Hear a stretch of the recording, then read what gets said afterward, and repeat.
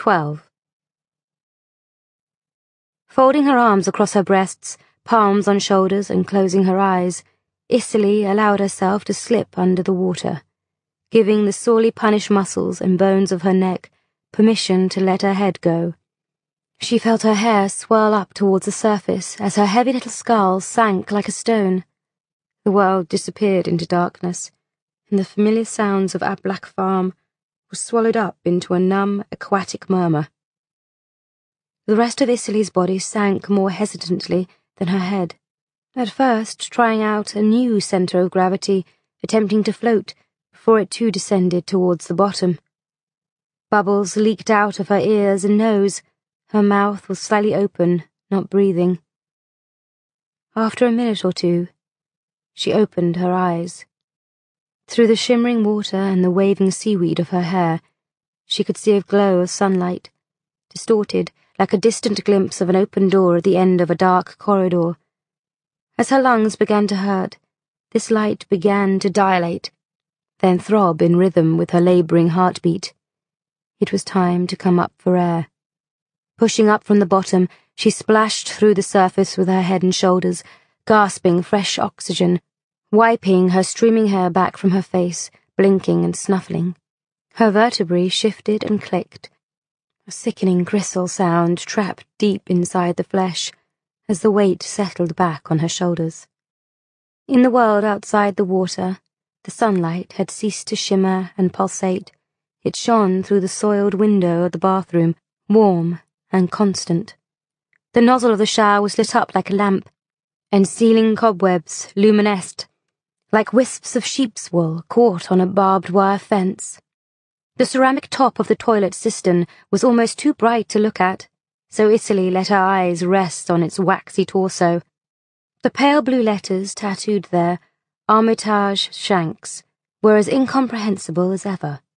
Despite Isserley's years of learning the language, the hot water tank gulped and belched, the way it always did when Isserley had a bath instead of a shower.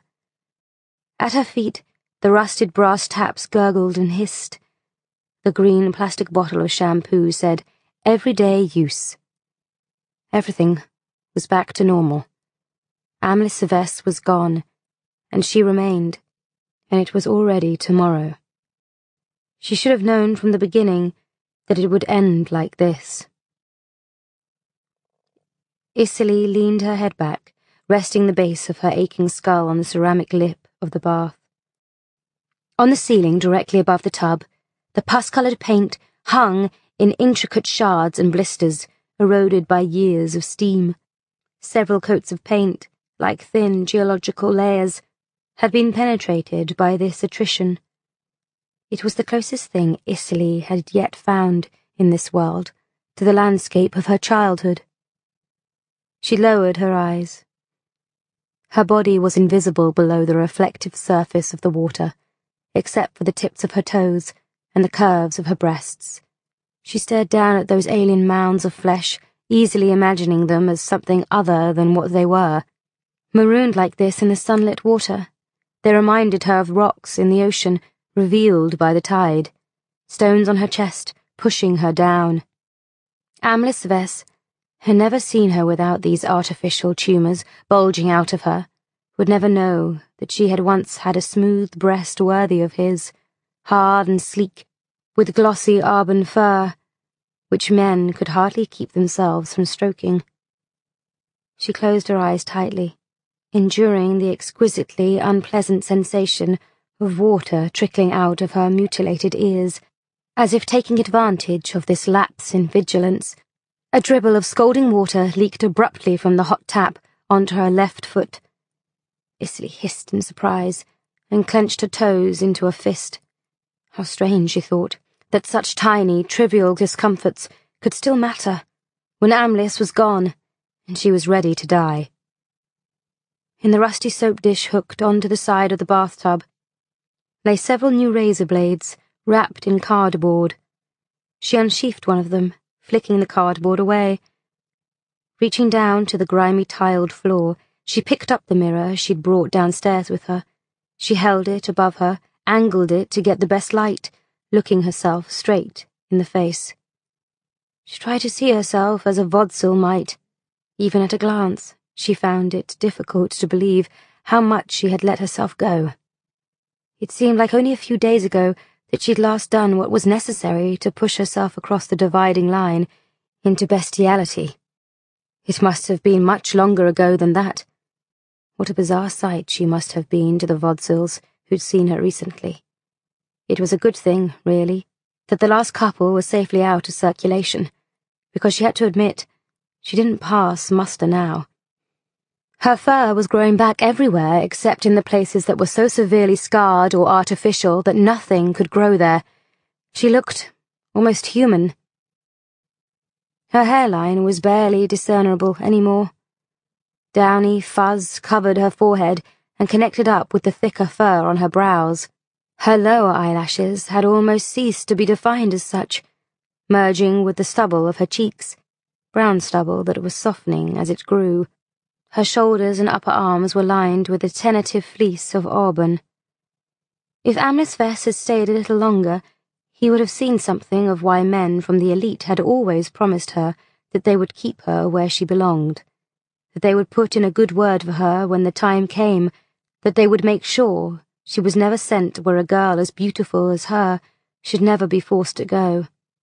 It would be a crime against nature, one of them had told her once, as he stroked her flank, straying inwards towards the soft genital slit. Isserley wielded the razor blade with great care. She dabbed shampoo onto her cheeks, but because the fur went right up to the rims of her eyelids, she must be careful not to push the soapy froth onto her eyeballs. Her eyes were sore enough from having to wear glasses so much of the time and of course from weeping over Amlis and life in general. With delicate, tender scrapes, she shaved the fur off her face, leaving a few wisps for eyelashes. She tried to stop frowning, to make her forehead smooth, as she dragged the razor across it. With every scrape, she rinsed the blade in the bath water. Soon, her fur was floating all around her, borne on a flotilla of shampoo scum.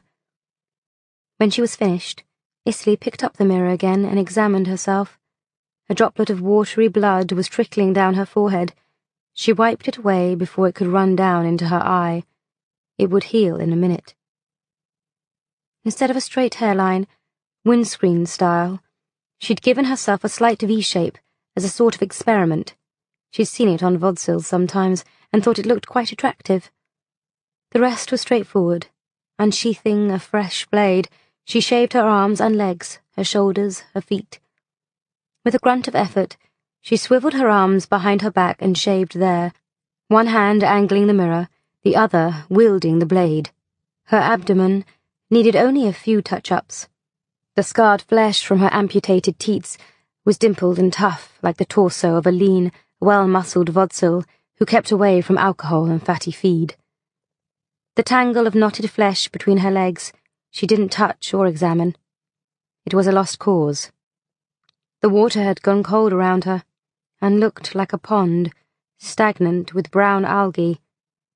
She stood up and gave herself a quick blast of hot water from the shower nozzle to flush off the loose fur.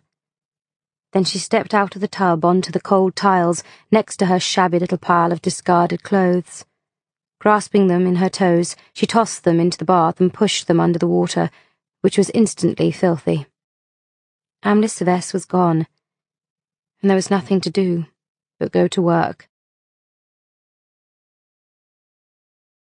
The midday news came on the television while she was doing her exercises. For the first time in years, it had some relevance to her. A search is underway for a missing Perthshire man, William Cameron, said a concerned female voice. As the grubby screen in Isserley's bedroom displayed a picture of the red-maned, knitted jumper Vodsel she picked up days before, who was last seen attempting to hitchhike home from Inverness on Sunday. A different photograph replaced the first, this one showing the Vodsel relaxing in front of a caravan, hugging between his legs a sleepy-eyed female with thick glasses. Two chubby toddlers, out of focus, were frozen in the extreme foreground, wide-eyed with surprise at the camera flash. Police say there is as yet no evidence of any connection between Mr. Cameron's disappearance and the murder of Anthony Mullender on Sunday. The red mane and his family were extinguished, and a grainy image of the monstrous bald head in yellow overalls was superimposed, instantly making Isserley's flesh creep. They acknowledge, however, a possible connection with the disappearance of German medical student Dieter Genscher, last seen at Abbey Moor. The disturbing sight of the bald head was mercifully replaced by a snapshot of a harmless-looking Vodsel Isserley couldn't recall seeing before. Then, after what seemed like only a fraction of a second, there was some high-quality film footage of the A9. The camera mounted low on the ground to show the passing cars from the perspective of a hitchhiker. Isserley continued her exercises as the news progressed to other things. Huge herds of starving Vodsels in a foreign country, the misbehaviour of a singer who wasn't John Martin, sporting events, weather. Driving conditions were likely to be quite good if the forecast was accurate. Exercise and the sun beaming in through the window had dried her hair. She appraised herself in her little mirror, frowning. Her fresh black top, the freshest looking of the ones in her wardrobe, was a little frayed. Still smart, but a little frayed. She shouldn't have taken that red-headed Vodsel, she said to herself suddenly. William Cameron. Pushing the thought away, she tried to return her attention to the matter at hand. Where was she supposed to get more clothes? Donny's garage didn't sell clothes. For years, she'd resisted the temptation to wear items of clothing she'd come by in the course of her work, fearing that they would be recognized as belonging to individual Vodsels. But maybe... She shouldn't have taken him, she told herself again. You're slipping. It's over. Her trousers were fine, the green velvet glossy and clean, a bit patchy on the seat, perhaps, but no one ever saw that, all being well. Her shoes were polished and seemingly indestructible. The cleavage of her bosom glowed in the sunlight like something from the cover of a Vodsel magazine. The tiny cut on her hairline had healed already. She picked the crust off, and it didn't resume bleeding. She ran her fingers through her hair, all ten fingernails, securely in place. She breathed deeply sucking the cool air through her nostrils, keeping her spine straight. Outside her window, the Earth's atmosphere was bright and blue, obscuring the eternities of space beyond. Life goes on, she insisted to herself. On her way out of the house, she found the note from Esswis, which she'd forgotten all about. By the looks of it, it had been lying under her door for days. She held its damp and faded text up to the light. Esswis's tortuous scrawl didn't make things any easier, but one thing was immediately clear. This wasn't a personal letter. He was merely passing on a message from Vess Incorporated, which, because Esswis was Isserley's superior, had been conveyed to him first. As far as Isserley could decipher, Vess Incorporated was wondering if there was any possibility she could bring in a few more Vodsels than usual Twenty percent more per annum would be fine. If there was any difficulty, the corporation could send someone to help her out. In fact, it was seriously considering sending someone anyway. Isserley folded the note into a pocket of her trousers, even though she hadn't read it all. Vess Incorporated would have to learn that it couldn't fuck with her like this. She would send them a little message on the next transport ship. In the meantime, she would think about what changes needed to be made to her working life. Isserley's arrival in the dining hall caused much guttural murmuring among the men. They obviously hadn't expected her to reappear so soon after her humiliation, but that was because they were stupid and understood nothing. Wouldn't they just love to have had a bit longer to gossip about her? What a stir her breakdown and her expulsion from the processing hall must have made in their stagnant little world. How the legend would have grown if she'd hidden away for days in her cottage, paralyzed with shame, until at last she was so weak with hunger she was forced to crawl down to them. Well, she refused to give them the satisfaction. She would tough it out, show them what she was made of. She cast her eyes disdainfully over the entire herd of them. Compared to Amlis Vess, they were scabrous, grotesques, pea-brained savages. She should never have felt shame about her own deformity. She was no uglier than they were, surely, and infinitely better bred. Is the high-quality meat all gone? she inquired, rummaging among the pots and bowls on the serving tables. The memory of her one little taste of the divine marinated steak that Hillis had prepared in honour of Amlis was suddenly haunting her. Sorry, Isserley. It's in here, said the squinty one, with the mouldy face whose name she always forgot. He patted his mangy, distended belly and wheezed with laughter. Isserley beamed pure contempt at him. They ought to feed you on straw, she thought, then turned her back and busied herself with her old standby of bread and masanta paste. Better to eat that, bland though it was, than take a risk with the blistered fatty sausages and limp wedges of pie. There was no telling what sort of trash was in them. Plenty of pie, somebody assured her. No, thanks, she smiled insincerely as she leaned against one of the benches, ignoring offers to sit down on the floor with this man or that. Holding one hand under the thinly pasted bread to catch any crumbs that might fall, she began to eat, staring over the men's heads, planning her day. That fancy meat sure was good, recalled Innes the engineer, then sniggering, quipped. We'll just have to get a few more visits from Amlis Vess, won't we? Isserley looked down at him as he grinned back at her with decayed teeth and a glisten of gravy on his snout. Yet despite her distaste, she understood all of a sudden that he was harmless, an impotent drudge, a slave, a disposable means to an end. Imprisoned underground, he was living out an existence scarcely better than what he would have known if he'd stayed in the estates. To be brutally honest, all these men were falling apart hair by hair and tooth by tooth, like overused pieces of equipment, like tools bought cheap for a job that would outlast them. While Isserley roamed the airy spaces of her unrestricted domain, they remained trapped below the barns of Ablach, labouring mindlessly, grubbing in tungsten-lit gloom, breathing stale air, eating whatever offal was too gross to be of value to their masters. Amid much fanfare about escape, and pioneering, Vess Incorporated had simply dug them out of one hole and buried them in another. I'm sure there could be some changes made around here, Isserley said, without needing a visit from Amlis Vess to justify them. This caused more guttural murmurings, meaningless insurrections mumbled by creatures without hope. Only one man spoke up. There's a rumor Vess Incorporated wants bigger shipments, said Ensel.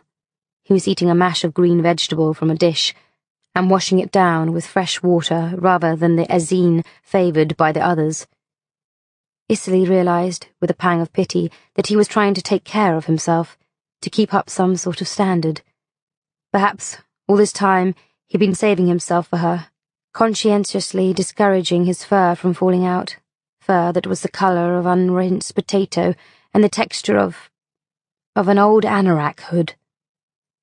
I'm sure Vess Incorporated would love us all to work harder, she remarked. Everyone ate in silence for a while. You shouldn't have taken the red-haired one, thought Isserley again. It's over. She grimaced and disguised the grimace by biting into her bread. Don't be so gutless. She chided herself. In a week, it'll all be forgotten.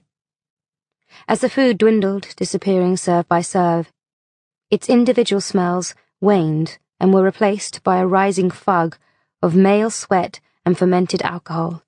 It was an atmosphere almost guaranteed to inspire disgust in Isserley. But today, she was able to rise above it. In fact, she actually began to relax as it sank in that the men who were here now were the only ones she would need to confront. Unser, whom she dreaded running into so soon after her disgrace, was nowhere to be seen, and the food was vanishing fast. Hillis was absent too, as he always was by the time the meal was laid out. That was good. That suited her.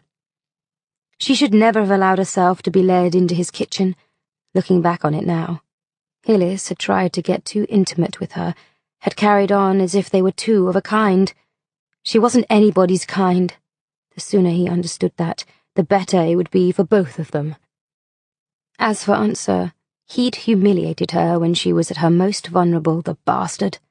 She wished she could wipe him off the face of the planet for having abused his power like that. It was just as well he wasn't showing his face. Mealtime was drawing to a close. One of the men had wandered off already, and others were licking and slurping the inner reaches of their bowls and pitchers. Isserley's relief about Hillis and Unser turned, at last, to curiosity. Where were they? Then it dawned on her that it must be all a matter of hierarchy and privilege. Unser and Hillis were a cut above these brawny specimens littered around the dining hall. Probably the two of them ate together in some cosy retreat enjoying a better class of food too, no doubt. What were the two of them feasting on? She'd like to know. Those sealed supply crates that came with every monthly shipment. Was it really just stuff like Sir Schlieder and Masanta in them? Or were there secret luxuries she never got to sample? And what about the way Vess Incorporated conveyed its messages to her via Esswis, despite the fact that everything revolved around her? men and their little power games. She'd tackle these inequalities soon enough. Isserley spread another slice of bread and masanta, then helped herself to a bowl of the same green vegetable Ensel had chosen. She was determined always to go off well fueled from this day onwards, to make sure she never again succumbed to the humiliating helplessness of hunger far from home. She drank water by the cupful and felt her stomach swelling inside her.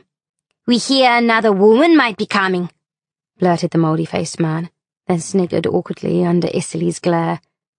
I wouldn't hold your breath, she advised him. Blinking, the mouldy-faced man went back to his picture of Ezin, but Ensel wasn't so easily cowed. What if they do send someone, though? he said thoughtfully. It'd make a big difference to your life, wouldn't it? The way it's been till now, it must get lonely for you sometimes.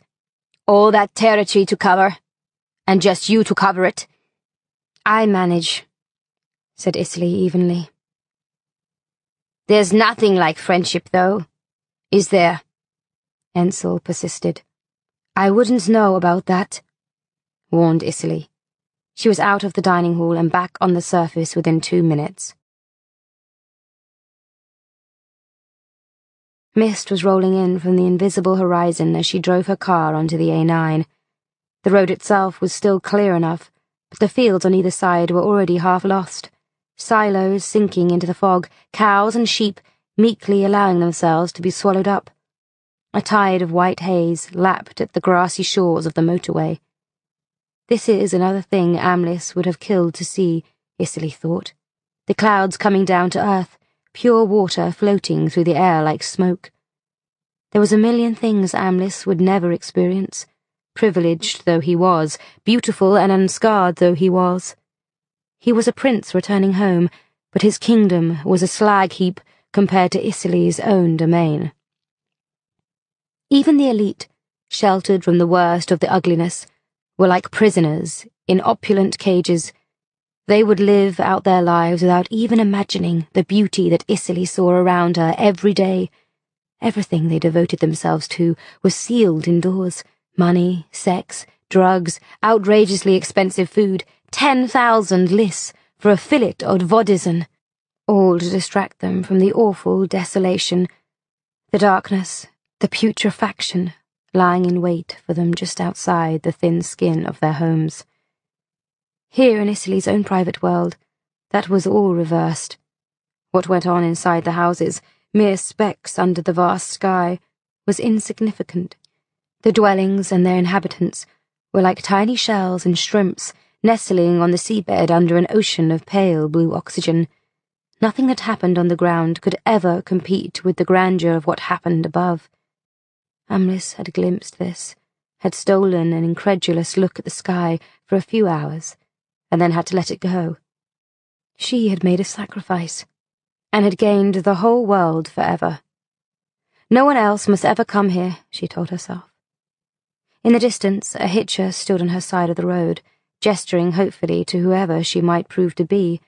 She slowed down to take a look at him. Behind her, another car revved its engine and tooted its horn, impatient to pass. She ignored it. It could complain all it liked, as long as it left this hitcher alone until she'd made up her mind. The hitcher was big, dressed in a suit without a raincoat over the top, and bareheaded. He wasn't bald, in fact. He had a halo of grey hair fluttering in the breeze. He was standing right next to the sign that said P, reassuring drivers that he wouldn't be any bother to stop for. That was about as much as Isserley was able to take in, what with the other car tooting and growling behind her. Passing the hitcher, she veered into the parking area to allow the angry vehicle its way through. Of course, the hitcher thought she was pulling over for him, but it was too soon for Isserley to make such a commitment. She wasn't going to make any more mistakes. As soon as the coast was clear, she accelerated back onto the road, and the hitcher, who'd shambled into a half run towards her car, slumped to a standstill as she left him in the pole of her exhaust. On a second approach, passing by on the opposite side, she noted that he was quite shabbily dressed. The clothes themselves were of good quality. He was wearing a dark grey suit with a light grey pullover underneath, but they had a greasy sheen and hung like loose hide on his hulking frame. The slits of his coat pockets sagged open like extra orifices. The knees of his trousers were baggy and pale. The hand that waved limply at the passing traffic looked dirty. But what was he like inside? He turned to look at her car as she passed. Because there was so little traffic on either side of the road, if he recognized her as the driver who'd almost stopped for him a minute ago, he gave no sign. His face was a stoical mask hard and wrinkled. Isserley had to admit he wasn't the most impressive specimen she'd ever seen. He was getting a bit old, his hair was grey, he had a taupe beard with flecks of silver in it. He didn't stand very upright, he had plenty of muscle on him, but a fair bit of fat, too. Among Vodsels, he was no Amlis Vess, that was for sure, but he wasn't an Inns, either. He was average. On the third approach, she decided to take him, why not, after all? What difference would it make in the end? What right did Vess Incorporated have to make her task more difficult than it already was? If they had their way, she would be betting the inhabitants of the entire world, endless millions of them, rejecting almost every single one in an insane search for perfection. It was time they realized what was really out there. This hitcher was what was really out there. She pulled over into the same parking area as before, gently tooting her horn in case he was afraid of being fooled a second time. Raindrops began to spatter on the windscreen as he walked towards her. Within the few seconds it took to reach the passenger door, a downpour was setting in. Where are you going? she asked, as he swung into the car next to her, a rumpled grey mass with a grim head screwed into the shoulders. Nowhere fast, he said, staring straight ahead. I beg your pardon? Sorry, he said, acknowledging her with a faint smile, though his bloodshot eyes were humorless. Thanks for stopping. Carry on, carry on. She looked him quickly up and down. As well as being shabby, his suit was covered in loose hair. Not his own, but black and white. His own hair had been cut severely in the past, and the basic shape of the design could still be seen but all around the old edges, a moss of more recent hair had sprouted, a wiry thicket on his neck, wayward fuzz on his jaws, and then the bristles which covered virtually all his flesh from his cheeks to the grubby collar of his pullover. But where do you want to go? insisted Isserley. I don't really care, he said, an edge of irritability poking through his dull monotone. Know any exciting places? I don't. Isserley tried to listen to her instincts, to judge if there was any danger in him. Strangely, she couldn't detect anything. She gestured to the seat belt, and his brawny hands, whose nails were black with grime, fumbled for the clasp. Take me to the moon, how's that? he suggested testily. Take me to Timbuktu. Take me to Tipperary. It's a long way, they say. Isserley looked away from him, puzzled. The rain was pelting down, she flipped the toggles for the windscreen wipers and the indicator. Even as he was strapping himself in, the hitcher was thinking there was still time to change his mind. What on earth was the point of going through with this? Why not just get right out of the car, go right back where he'd come from, and keep his. his poison to himself? There was something so sick about doing this day after day, going out on the road and seeing if he could trap some poor sucker into giving him a lift. Then, as soon as he had a captive audience, of course he would let them have it, right in the guts, right between the eyes, always the same thing. Why do it? Why? He never felt any better afterwards, worse, usually.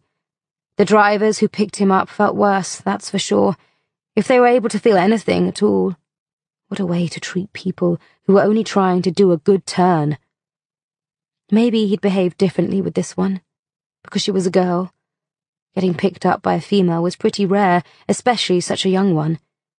She looked like she'd suffered, too, in her short life. She hadn't had it easy. Pale, sitting stiffly, trying to put on a brave face. He'd seen it before. Too much, too young tits on display to show she wasn't ready to give up being sexy yet, but the rest of her beaten and worn down, prematurely old. Did she have two screaming toddlers waiting for her at her parents' place? Was she some sort of addict? A prostitute, struggling to find an alternative way of making ends meet? The skin on her scrawny clenched hands was dry and scarred. He couldn't see her face now, but at a glimpse it had seemed like a battleground of bitter experience. God, if only he could spare her what he was going to put her through, make a superhuman effort to keep it all in. But fat chance. He'd let her have it, like all the others, until something happened to make him stop. Until, finally, it was all over. He could see her little nose, sniffing, poking out from behind the curtain of her hair. She was sniffing him, all right. They all did. It had begun. I'll open a window, shall I? he offered wearily. Isserley flashed an awkward smile, embarrassed at being caught out. No, no, it's raining, she protested. You'd get wet. I... I don't really mind the smell, actually. I was just wondering what it is. It's dog, he said, staring straight ahead of him. Dog? Pure aroma of dog, he affirmed. Essence of spaniel. He clenched his fists against his thighs and agitated his feet against the floor. Isserley noticed he wasn't wearing any socks. Grunting repeatedly, as if being teased with a sharp implement, he grimaced into his lap and suddenly asked, Are you a dog person or a cat person? Isserley thought that one over for a minute. Neither, really, she said, still unsure of her footing in this bizarre conversation. She racked her brains to retrieve what little she knew on the subject of cats and dogs. I don't know if I could take care of a pet, she admitted, noting another hitcher on the next hill, wondering if she'd made a mistake choosing this one. It sounds complicated, from what I've heard. Don't you have to keep pushing a dog off your bed to show him who's boss? The Vodsel grunted again, in pain this time, as he tried to cross one leg over the other irritably, and hit his knee on the underside of the dashboard. Who told you that? He sneered. Isserley decided against mentioning the dog breeder in case the police were looking for him. I think I read it somewhere, she said.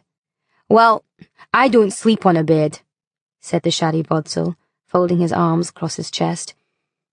His voice had lowered to a monotone again, a strange mixture of prickly insolence and unfathomable despair. Really? said Isserley. What do you sleep on? A mattress in the back of my van, he said, as if she were trying to argue him out of it, but he'd ceased to care. With a dog. Unemployed, thought Isserley. Then immediately, it doesn't matter. Let him go. It's over. Amlis has gone away. No one loves you. The police are moving in. Go home. But she had no home to go to, not really. Not unless she did her job Pushing back defeatist thoughts, she tried instead to reason with the Vodsel at hand. If you own a van, she challenged him politely, why are you hitchhiking? Why not drive yourself? Can't afford the petrol, he muttered. Doesn't the government give you, um, an allowance? No. No? No. I thought everybody who's unemployed gets an allowance from the government. I'm not unemployed, he retorted. I own a business. Oh. Isserley saw out of the corner of her eye a peculiar change coming over his face. Colour had risen to his cheeks, and his eyes glistened, with a feverish enthusiasm, perhaps, or tears. He bared his teeth, which were punctuated by the creamy polyfiller of old food. I pay myself a wage, you see, he declared, his enunciation suddenly clear. Whatever I can afford, once I've paid my employees. Um, so how many people have you got working under you? asked Isserley, perturbed by the rictus of his grin, the intensity of his concentration.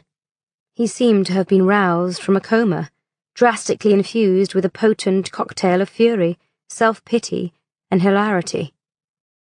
Well now, there's a question, there's a question, he said, thrumming his fingers against his thighs. They may not all be turning up at the factory, you see. Might have got discouraged by the locked gates. Might have got discouraged by the lights being off. I haven't shown up there myself for the last few weeks. It's in Yorkshire, you see. A lot of petrol to get to Yorkshire. And then I owe the bank about three hundred thousand pounds. The rain was easing off now, allowing Isserley to orient herself. She could set him down in Alness if his craziness got out of hand. She'd never had anyone quite like him before. She wondered, alarmingly, if she liked him. Does that mean you're in trouble? she asked, meaning the money. In trouble? Me? No, he said. I haven't broken any laws. But aren't you a... a missing person? I sent my family a postcard. He fired back immediately, grinning, grinning all the while, sweat trickling in his eyebrows and on his moustache. Peace of mind for the cost of a stamp. Saves the police from wasting valuable time, too. Isserley stiffened at the mention of police. Then, having ordered her body to relax, she got suddenly worried in case she'd let her arms sag into an angle impossible for vodsel musculature. She glanced down at her left arm, the one nearest him. It looked fine. But what was that horrible squeaking noise near her face? Oh, it was the windscreen wipers, scraping dry glass. Hastily, she switched them off. Give up. It's over, she thought. Are you married? she said after a deep breath. No, there's a question. There's a question, he responded, seething, virtually rising off his seat. Am I married? Am I married? Let me think now. His eyes shone so fiercely they looked ready to explode. Yes, I suppose I was married, he decided, as if conceding with grisly good humour a point someone else had just scored at his expense. For twenty-two years, as a matter of fact, until last month, as a matter of fact. And now you're divorced, pursued Isserley. So I'm told, so I'm told, he said with a wink like a violent tick. I don't understand, said Isserley. Her head was starting to ache. The car was full of the heady stink of dog, the radioactive glare of psychic torment, and the sudden blaze of noonday sun right in her eyes. Have you ever loved anyone? The Vodsel challenged her. I... I don't know, said Isserley. I don't think so. She would have to take him soon, or let him go. Her heart was starting to labour, and her stomach seemed to be going into spasm. There was a roaring sound somewhere behind her, which a glance at the rearview mirror confirmed was another vehicle, a mammoth camper van tilting from side to side impatiently. Isserley checked her own speed and was unnerved to find it was 35 miles an hour, slow even for her, so she drove a little closer to the edge. I loved my wife, you see, the dog's smelly Vodsel was saying. I loved her very much. She was my world, the full Cilla Black. I beg your pardon? As the camper van swept past, dragging its shadow over Isserley's car, the Vodsel began to sing, loudly and uninhibitedly, She was my world, she was my night, my day. She was my world, she was every breath I take. And if our love ceases to be, then it's the end of my world for me. He shut up as abruptly as he'd begun, and was again grinning at her fiercely, tears leaking down his grizzled cheeks. Get the picture?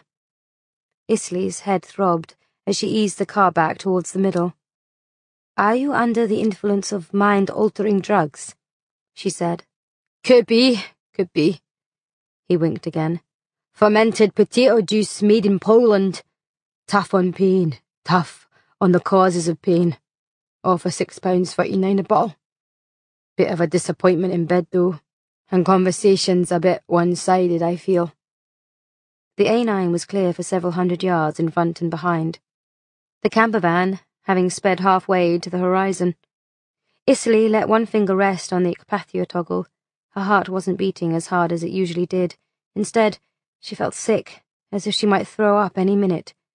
She took a deep breath of dog-flavoured air and made an effort to tie up the one last loose end. Who takes care of your dog when you go out hitching? No one, he grimaced. She stays in the van. All day and night? She'd posed the question without accusatory emphasis, but it seemed to wound him deeply. His manic energy flowed out of him in a gush, and he was left listless and dispirited. I never stay out that long, he argued, monotone again. I need my walkies too. She understands that. Isserley's finger trembled against the icpathua toggle. Then she hesitated, swallowing down a surge of nausea. It's a pretty big van, the Vodsel muttered defensively. Hmm, Isserley reassured him, biting her lip. I need to know she'll still be there when I get back, he pleaded. Hmm, said Isserley. Sweat was stinging the fingers of her left hand, and her wrist ached. Excuse me, she whispered. I I have to pull over for a minute. I'm not feeling so good. The car was already travelling at a crawl. She allowed it to roll into the nearest parking area and brought it to a halt. The engine shuddered and was still. Supporting herself with one quivering fist against the steering wheel, she wound open a window with the other. You're not a well girl, are you? She shook her head, unable to speak. They sat in silence for a while as the fresh air blew in. Isserley breathed deeply, and so did the Vodsel. He seemed to be struggling with something, just as she was.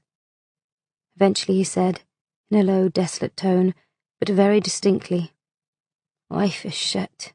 You know that. I don't know, sighed Isserley. This world is very beautiful. He grunted disdainfully. Leave it to the animals, I reckon. Leave the whole fucking lot to the animals. That seemed to be his final word on the subject, but then, when he saw that Isserley had begun to cry, he lifted his filthy hand and hesitantly poured the air near Isserley's shoulder.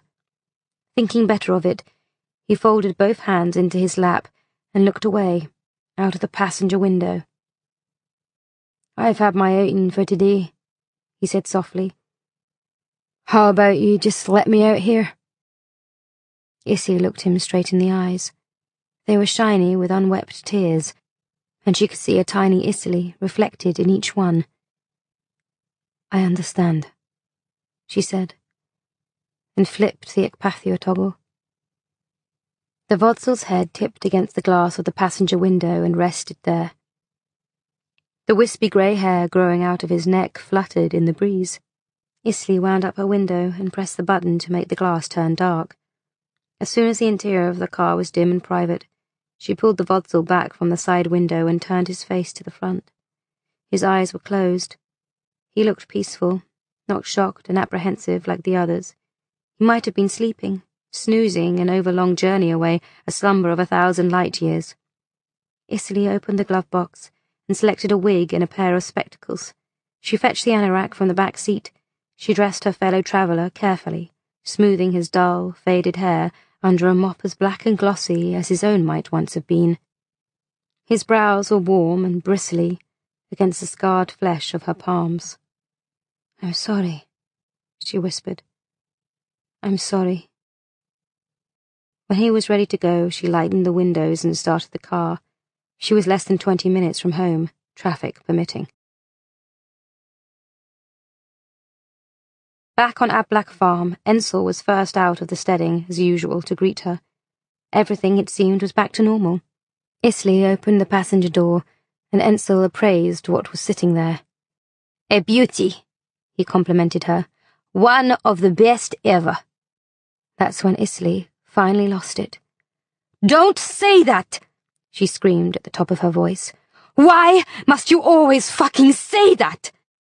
Flinching at the violence of her response, Ensel seized hold of the body between them. Isserley seized hold too, struggling to keep him upright as he was dragged along the seat into the outstretched arms of the waiting men. He's not the best! She raged as she clutched and pushed. He's not the worst. He's just a... just a... Slipping from all their grasps, the body fell heavily on the stony ground. Isserley shrieked in fury. Fuck you! Leaving the scabrous beasts to their bumbling and grunting, she drove to her cottage in a cloud of dust. Two hours later, just as she was starting to calm down, she found Esswis's note in her pocket and reread it, this time forcing herself to decipher the last few lines. Vess Incorporated had just one extra request of her, it seemed. They were wondering if she could perhaps see her way clear to supplying them with a Vodsel female, preferably one with intact eggs. There was no need to process the female.